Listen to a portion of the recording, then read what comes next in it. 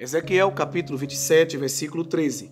Javã, Tubal e Meseque eram teus mercadores. Com escravos e objetos de bronze fizeram negócios contigo. Capítulo 38, verso 2. Filho do homem, dirige o rosto contra Gog, terra de Magog, príncipe-chefe de Meseque e de Tubal, e profetiza contra ele.